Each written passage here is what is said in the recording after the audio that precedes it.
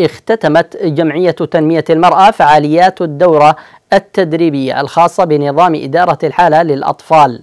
نظمها مكتب الشؤون الاجتماعية والعمل بمحافظة شبوة بدعم من منظمة اليونيسف واستهدفت الدورة 34 مشاركا من الجهات ذات العلاقة من خمس مديريات تلقوا فيها المعارف الأساسية المرتبطة بنظام إدارة الحالة للأطفال المشردين وكيفية متابعتهم وتقديم الرعاية لهم. وثمن وكيل المحافظة الدكتور عبد القوي المروق دعم منظمة اليونسف لمكتب الشؤون الاجتماعية والعمل بالمحافظة ومساعدته على إرساء قواعد النظم الأساسية لإدارة الحالة مشددا على ضرورة تقصي الحالات المستهدفة والعمل على حماية حقوق طفولتهم من مختلف الانتهاكات.